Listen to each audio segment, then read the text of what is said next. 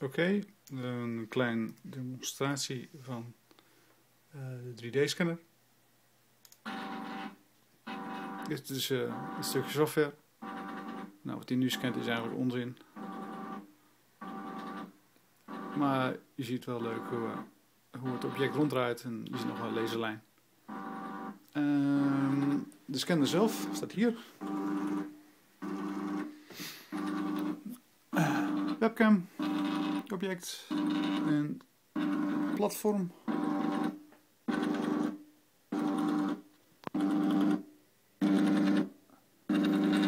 Nou ja, hier zit ergens de servo in verstopt. Met wat overdringingen. Je moet me maar geloven. Oh ja, laser. Oeh. Oeps. Nou ja, zo draait hij dan door. Dit duurt wel even.